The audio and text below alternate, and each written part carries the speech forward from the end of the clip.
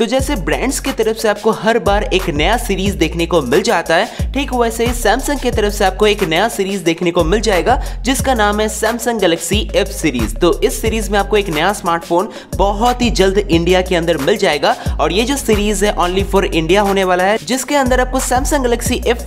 के नाम से एक नया स्मार्टफ़ोन देखने को मिल जाएगा, और इस फ़ोन का डिज़ाइन आपको बिल्कुल वही सेम मिलेगा जैसे आपको सैमसंग गैलेक्सी एम सीरीज़ में देखने को मिलता है। यानी कि आपको पीछे वही सिमिलर डिज़ाइन मिलेगा, वही सिमिलर कटआउट देखने को मिलेगा कैमरे के लिए और जो टेक्सचर है, ये आपको थोड़ा सा अलग देखने को मिल सकता है। और इस फ़ोन के डिस्प्ले के बारे में बात करें तो सैमसंग गैलेक्सी F41 के अंदर आपको 6.5 इंच का full H plus super AMOLED display का सपोर्ट मिलेगा और साथ में यहाँ पर आपको पीछे फिंगरप्रिंट सेंसर देखने को मिल जाएगा। और इस बार आपको यहाँ पर एक इन्फिनिटी यू डिज़ाइन के साथ नॉच देखने को मिलेगा फ्रंट सेल्फी कैमरे के लिए। और बात करें इसके प्रोसेसर के बारे में तो शायद आपको याद होगा कि सैमसंग के हर एक स्मार्टफ़ोन में, यानी कि सैमसंग के जितने भी मिड रेंज स्मार्टफोन्स हैं, उन सभी में आपको एक ही प्रोसेसर देखने को मिल जाता है और वो है Exynos 9611 का। तो इस बार भी इस फ़ोन में आपको वही सेम प्रोसेसर देखने को मिल जाएगा, जो उतना भी कुछ खास नहीं है। मतलब इसमें आपको उतना भी पावरफुल प्रोसेसर देखने को नहीं मिलेगा। तो मुझे लगता है कि अगर सैमसंग इसके अंदर स्नैपड्रैगन का प्रोसेसर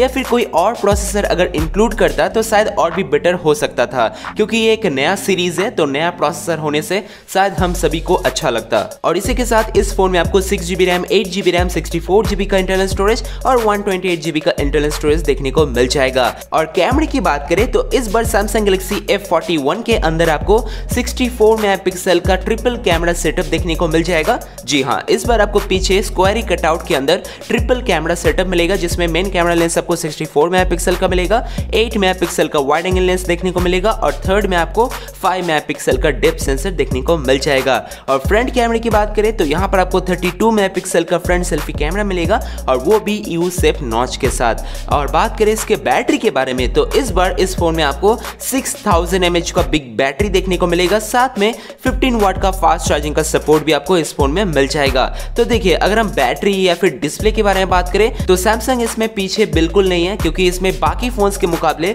बहुत ही अच्छा डिस्प्ले मिलता है और साथ में बैटरी बैकअप भी आपको बहुत ही पावरफुल मिलता है। तो इस हिसाब से ये फ़ोन बहुत ही अच्छा होगा, लेकिन अगर इसमें थोड़ा सा बेटर परफॉर्मेंस मिलता तो शायद और भी अच्छा लगता। तो ये जो स्मार्टफ़ोन है, बहुत ही जल्द आपको इंडिया में देखने को मिल जाएगा, क्योंकि अभी रिसेंटली इसके हर एक स्पेक्स लीक होने स्टार्ट हो चुके हैं, और इस फ़ोन के अगर हम प्राइस रेंज को गेस करें कि ये किस प्राइस रेंज में इंडिया में लॉन्च हो सकता है तो शायद हमें लगता है कि ये फ़ोन आपको अठारह हज़ार के आसपास मिल जाएगा। जी हाँ तो देखते हैं कि ये फ़ोन किस प्राइस रेंज में लॉन्च करता है, और आपको क्या लगता है कि सैमसंग गैलेक्सी F41 को किस प्राइस रेंज में लॉन्च होना चाहिए, आप नीचे मुझे कमेंट करके ज़रूर बताइए। तो दोस्तों, अगर आपको यह वीडियो अच्छा लगा हो तो आप मेरे चैनल को सब्सक्राइब करके हमें सपोर्ट कर सकते हैं। तो मिलते हैं अगले वीडियो में। Thanks for watching